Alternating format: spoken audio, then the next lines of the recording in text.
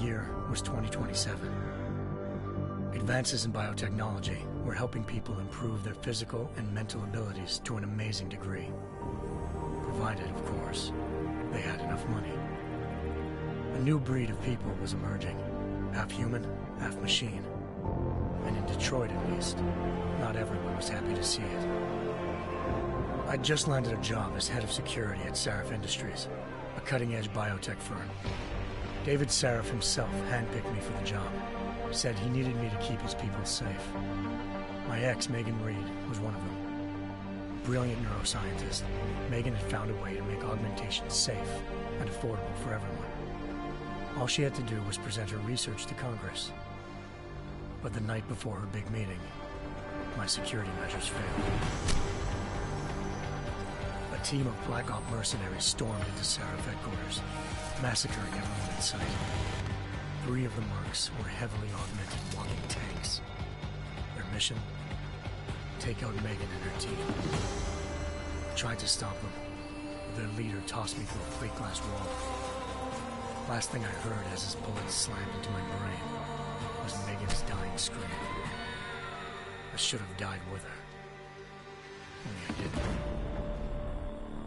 High-end military-grade enhancements saved my life.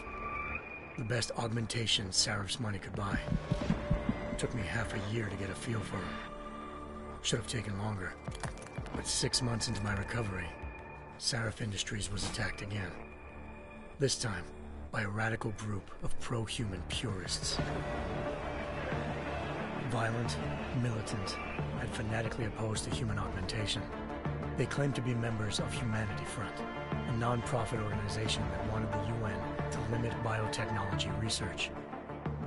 The thugs broke into Sarif's factory and found machinists working overtime on a top-secret military augment called the Typhoon. Sarif sent me to retrieve it, and when I did, I found one of the so-called purists next to it, wired with cerebral implants, trying to download its classified specs. Obviously, something more was going on. Og killed himself before I could question him. Sarif ordered me to dig deeper, so with the help of Frank Pritchard, Sarif's head of cybersecurity, I did. Turns out a second hacker had been controlling the Og's actions from somewhere off-site. Pritchard and I tracked his signal to a secret FEMA internment camp in Detroit. The Black Op mercenaries were there.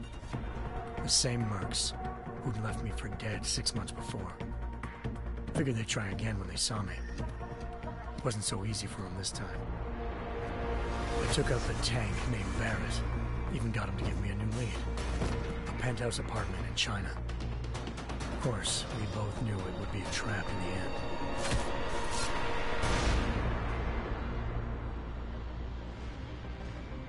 Hengsha Island, China.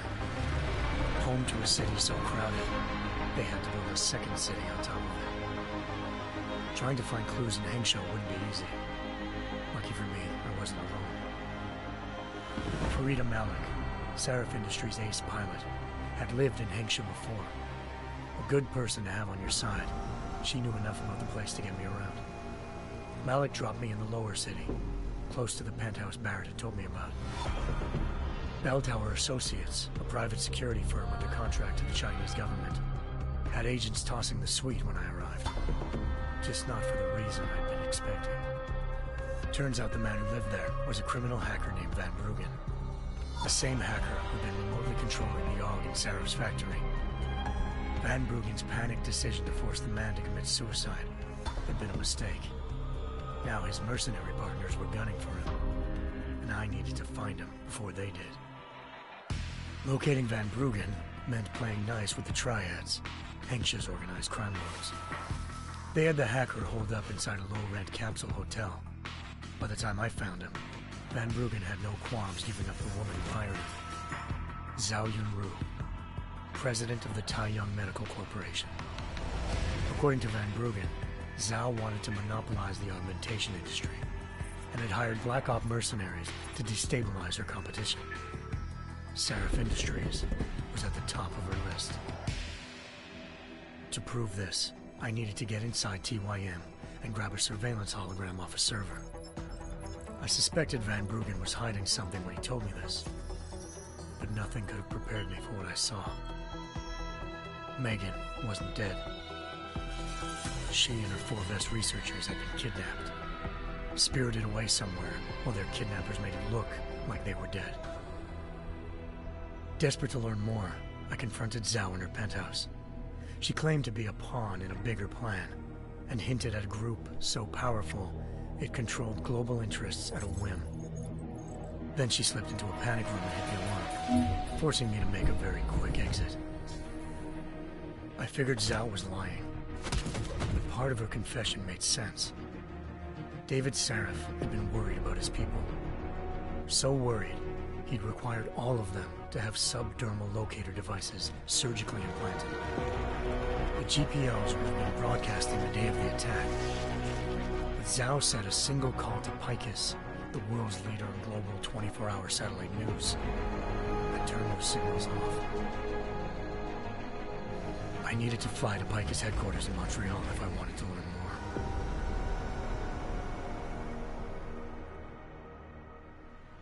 Eliza Cassan, Picus Communications' First Lady of News. Malik thought I was reaching when I told her Eliza was involved in this. The world's most famous news anchor, working with a mercenary hit squad. But when I confronted Cassan in her office, she freely admitted to jamming Detroit satellites the night Megan's team had been taken. Said she's just been following her commands. I suspected she wanted to say more. But Black Op mercenaries showed up looking to shut us both down. And just like that, the Eliza I'd been talking to disappeared. The Mercs were led by an augmented killer I'd crossed paths with twice before. Fedorova. A woman who'd made silence her best friend. She waited for me to track Eliza's transmission to a secret server room underneath the Picus complex, then jumped me from behind. A deadly fight ensued. I made sure she never moved silently again. With Fedorova down and no one left to keep Eliza quiet, she reappeared. Turns out Picus's first lady of news wasn't a lady at all. She was a sophisticated AI program, engineered to monitor data streams and control what people believed. Eliza told me the Mercs had brought in a Humanity Front doctor named Isaiah Sandoval remove the scientist's implanted tracking devices while Detroit's satellites were down. She also told me to speak to David Sarif if I wanted to learn more. By the time Malik and I got back to Detroit, tensions between normal and augmented citizens had reached a flashpoint. Riots were breaking out in several cities. The UN was being urged to intervene. Sarif was trying hard to convince Hugh Darrow, the inventor turned philanthropist who'd once been a leading proponent of enhancement technologies, to help stop a possible regulatory vote. Sarif had a lot riding on Darrow. Megan's discovery would have given millions of people the chance to evolve beyond their normal human abilities, and at the same time catapulted Sarif Industries to the top of the Fortune 500. According to Sarif, Megan's kidnappers knew this, and didn't want people evolving unless they controlled how it was done. He called his enemies Illuminati, and urged me to keep searching. Determined to do so, I tracked down Sandoval via America's most outspoken augmentation opponent, Bill Taggart, Sandoval's boss and founder of Humanity Front. Sandoval admitted to operating on Megan's team when I confronted him, but said he hadn't removed their GPLs. He'd merely switched them to a different frequency. Pritchard was able to trace one of the signals to China. Malik and I immediately took off in pursuit. Unfortunately, the Illuminati were one step ahead.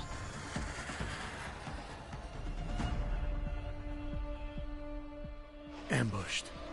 Shot out of the sky by Bell Tower Associates, seconds after entering Hengsha's airspace.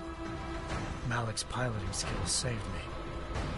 After a tense and bitter struggle, I escaped into Lower Hengsha. The tracking signal I was following led straight to the Triads, or more specifically, to the augmented arm of Tong Si Hung, leader of a gang of augmentation harvesters. Tong said they'd taken the arm off a corpse, which Bell Tower had left at their door, meaning at least one of Sarif's scientists was dead. Maybe not the rest of them, though. Tong pointed me to a port used for human trafficking and helped me slip aboard a bell tower ship. It was sailing to Rifleman Bank Station, a military base in the South China Sea. Bell Tower was holding kidnapped civilians as prisoners there, and using them to perfect the Hyron Project, a human-computer interface that left most of its test subjects dead. My search for Megan would have ended then, if not for a mysterious ally named Quinn. In exchange for my help exposing Bell Tower, he slipped me aboard a second ship headed to Singapore and an Illuminati-run biotech facility called Omega Ranch. Three of Sarif's scientists were there, forced by their captors to create a technology capable of remotely shutting down augmented abilities. Thanks to an emergency recall notice issued by the World Health Organization, millions of people all over the world already had the biochip installed. With the help of the scientists, I tracked Megan to a private section of the ranch. There, I ran into Yaron Namir, the walking tank who'd put a bullet in my brain the first time we met. He'd teamed up with Zhao and was hoping to catch me off guard. Their little ambush didn't work. I found Megan in a suite belonging to Hugh Darrow, the billionaire philanthropist who'd had called on for help. Darrow had convinced her to go along with the biochip plan by promising to sabotage the tech. As she was explaining this, Darrow appeared in a global broadcast, telling the world that augmentations would be the death of mankind. Then he activated the biochips to prove his point. All over the world, augmented people flew into a killing frenzy. Darrow had betrayed everyone, and it was up to me to set things right. To do it, I had to reach Panchaea, a massive installation in the Arctic Ocean. As I raced through corridors built by an all-augmented workforce, I saw death and destruction firsthand. By the time I shut down Darrow's broadcast, I knew the damage he'd done. Still, humanity's future remained unclear. How would the world react to this sabotage? Would people ever regain their faith in augmentations again? What would be the Illuminati's next move? Only time give us the answers.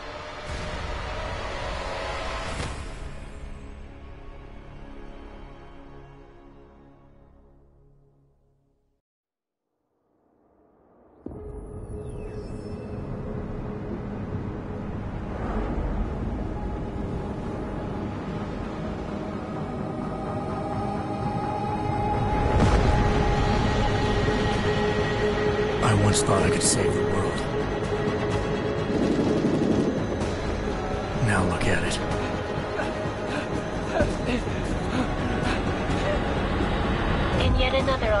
terror attack, 251 passengers aboard Sista Airlines Flight 451 were killed. When an augmented passenger broke into the plane's cockpit and ruthlessly butchered its flight crew.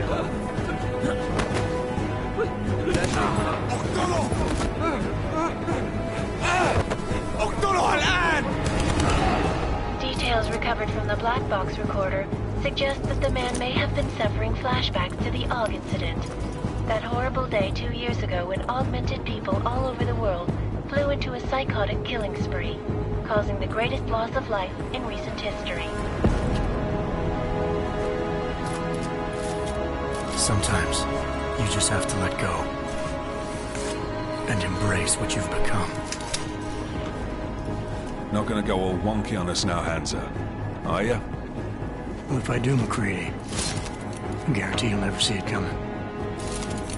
Jensen! Am I gonna have a problem with you? No, sir. No reason to assume you would. Good. Because you are the only augmented operative on this team, and I intend to make good use of you. Listen up, all of you. We've got a sandstorm barreling down our ass and we can't afford to make mistakes. We're going after this man, an arms dealer named Shepard. He's ex-Bell Tower, one of the Special Forces commanders who disappeared during the incident. And he's come out of hiding. That cannot be good. It's not. He's selling weapons and military-grade augments to terrorists. This is Aran Singh, the undercover agent who lured Shepard out of his hole. Best you see Interpol's got. For three years he's worked hard to get in tight with the Jinn, an Iraqi smuggling cartel that's infected the Eastern Hemisphere like a plague. Last week, our arms dealer sent a message to the Jinn, offering to sell them a shitload of black market merchandise dirt cheap. They told Singh to handle the buy. They're not gonna like it when Interpol disrupts their party. Singh's cover really that good?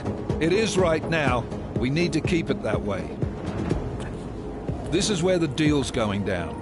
A half-finished high-rise hotel that's been abandoned ever since the incident. It's not a pretty picture inside. Let me guess. Most of the laborers were augmented with heavy-duty industrial rigs. So when the incident hit, and they all went schizo, things got gruesome real fast. And no one, except for some homeless junkies, have been inside the place ever since. So what's the plan, Director? Singh's meeting Shepard on the ground floor, inside the hotel's main atrium. He sent the bulk of his Jinn crew to the penthouse levels to secure a vantage point. I want MacReady's team to take up positions overlooking the atrium and make the arrest. Jensen, you're going in solo from the roof. My objectives? Keep the Jinn from joining the party. As far as we can tell, only one route connects the atrium to the penthouse level, a halfway decent elevator shaft. Here. I want you to block access to it. Fine. Just cut me loose. Do you plan on relying solely on your augments for this one? I'd recommend taking a little hardware, just to be sure.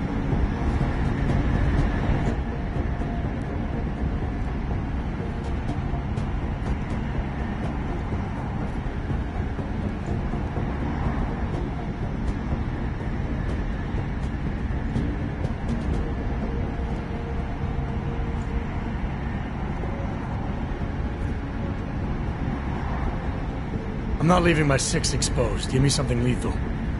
Your call, but Singh's undercover in all this. So watch your fucking sights. What about range? There's lots of wide spaces and high ceilings in there, but a number of tight and constrained rooms too. So it's a crapshoot, really.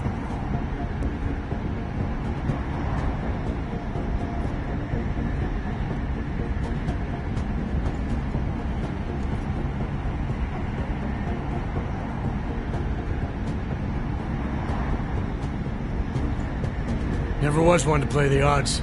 Give me something I can use up close. You got it. One last thing, Jensen. Singh said that Jinn are using some sort of portable Wi-Fi device to boost communications. He's got a better chance of maintaining cover if you disable it. I'll keep an eye out for it. But aren't we on the clock here? You said there's a sandstorm moving in. There is, and we got the intel on this mission at the very last minute. So we're scrambling a little. If it comes to it, your number one priority is keeping the Jinn out of that atrium. Copy that. Time to put away your heavy thoughts, gentlemen. We're approaching the target building. You're up first, Jensen. Let's do this. Task Force action. This is Knife Leader. Engage Hush drives and descend to Angels 1-5.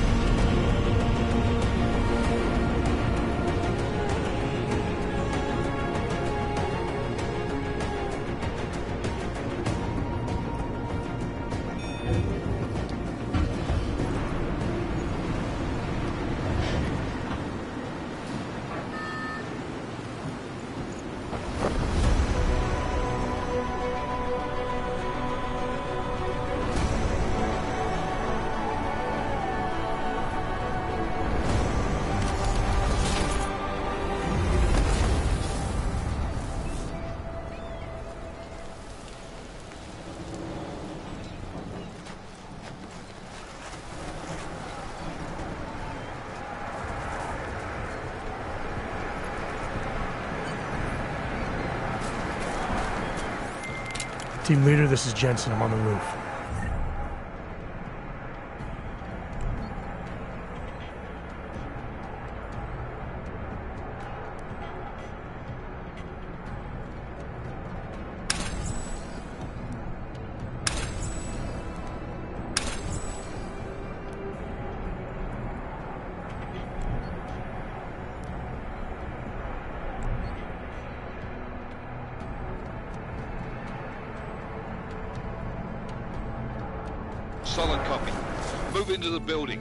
Access route you need to block is at the far end of the penthouses. And keep in mind, the direct route might not be the easiest one.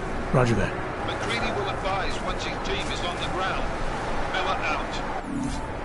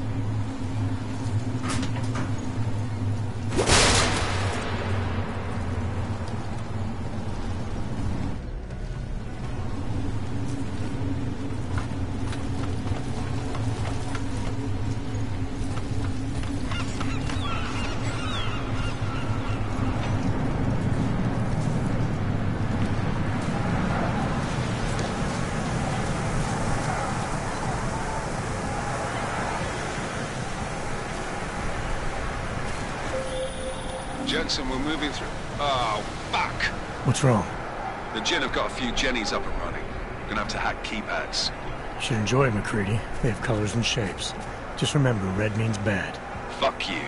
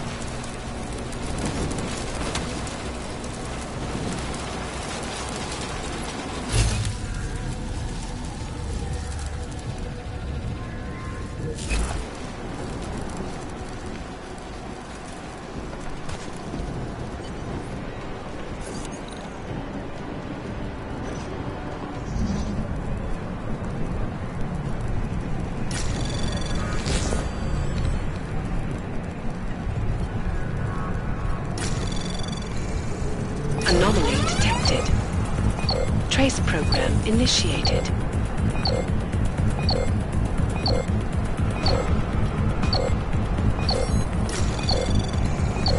Access granted.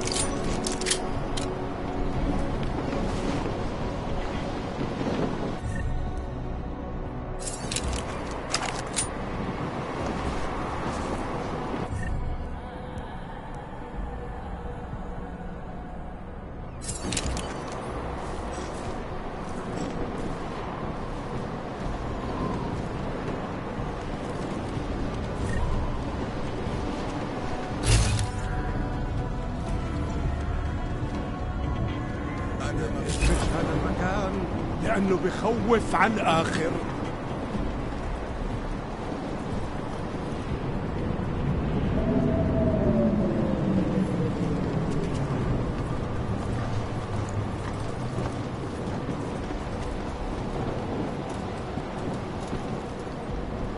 بين. هذا مكان بخوفني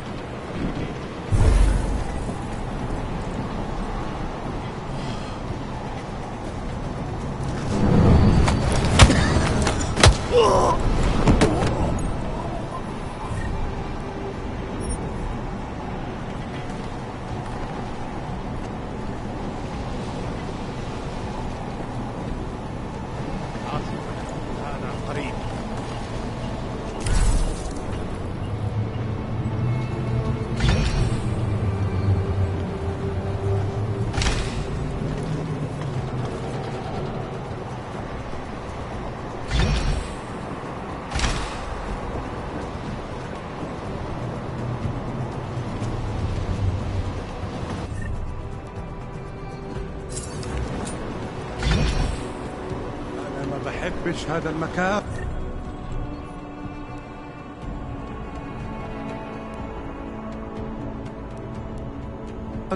لأنه بخوف على الآخر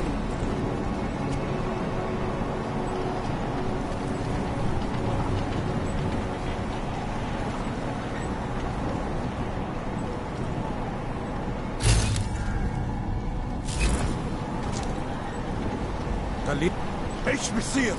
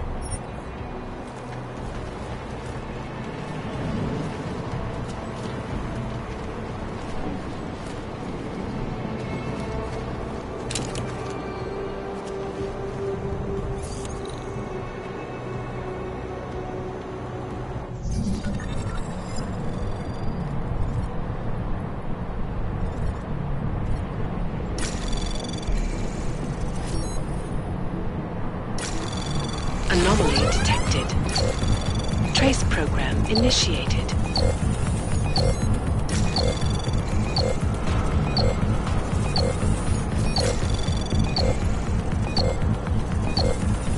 Access granted.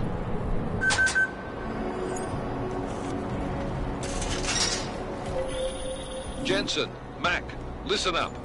Doppler shows that sandstorm's moving in fast. It's big, and it's gonna hit us hard. God, I hate the fucking desert. Confirm visual? I can. Time is not on our side. Copy that. Solid copy.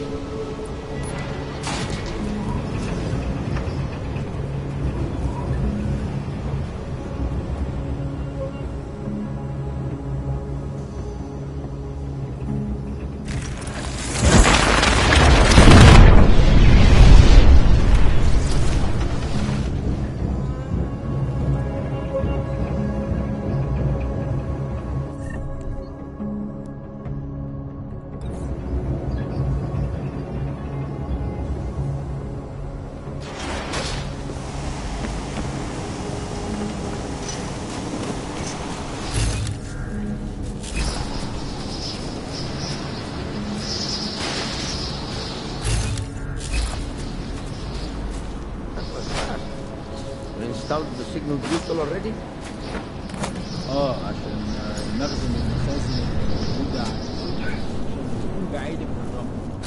Good. There's too much. Last thing we need is the guns breaking down. ايه يلا نبتدي نتحرك.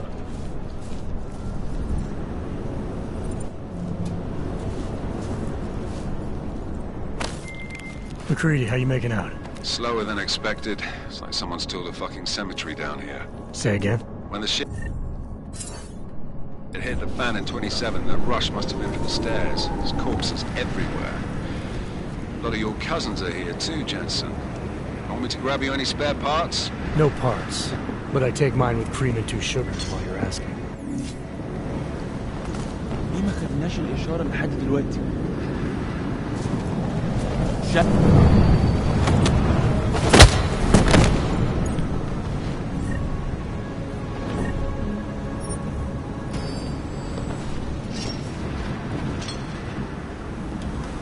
شوفوا إذا كان يعرف أي حاجة هو كان متخدر؟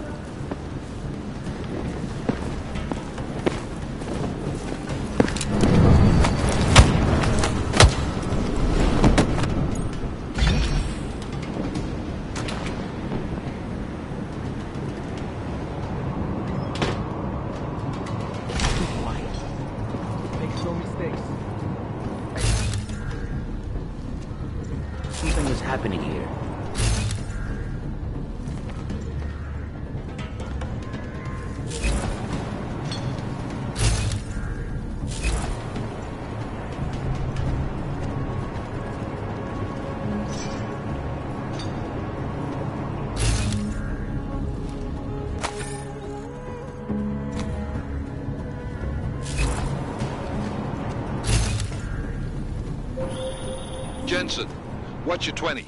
Working my way through the penthouses. Remember to keep an eye out for the Jinn's communications booster. If you can, disable it. Roger that.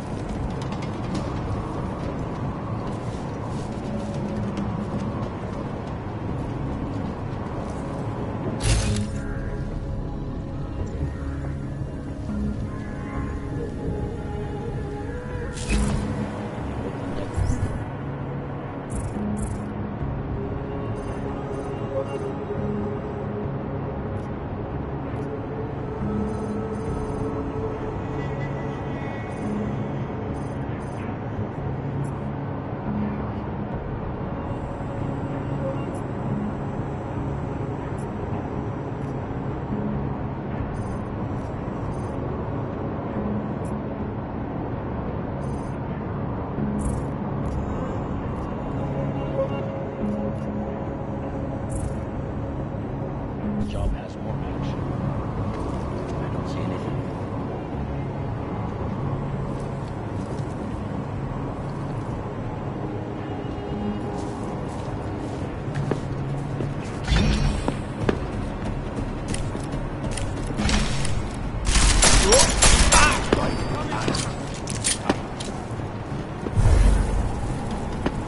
The bastard is cutting us down!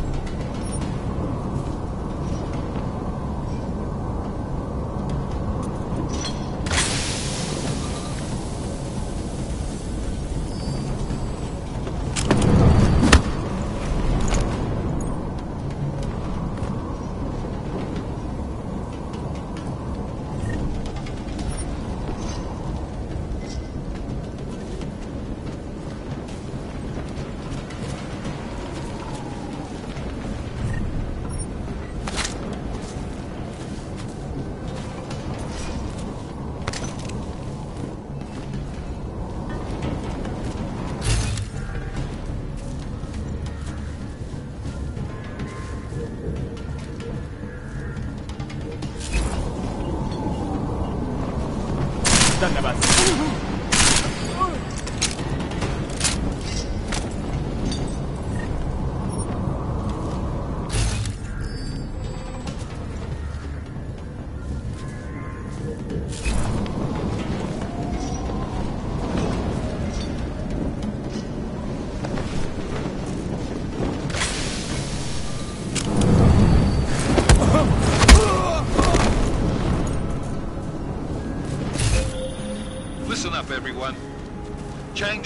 the Jinn's radio signal.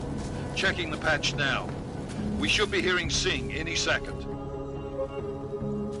خليل الراجل اللي هيبقى علينا الحاجات جايه كمان شويه روح قول لبقيه الناس ان انا هعصلكم وخليكم يعني منتظرين Patch is clear. Solid copy. Good. I'll repatch us once the deal kicks off.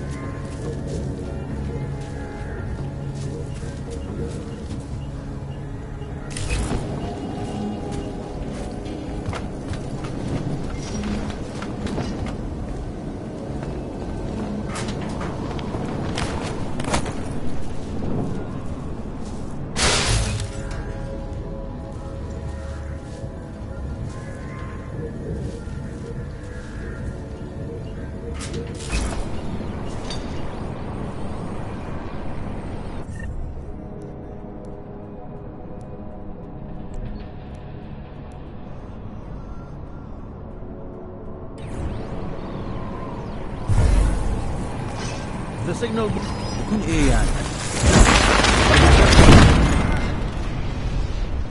Miller, I disabled the Jinn's comms booster. Should make it harder for them to listen in on the deal. Good work. With luck, Singh's cover will still be intact when this is over. Roger that. Moving on to primary target now.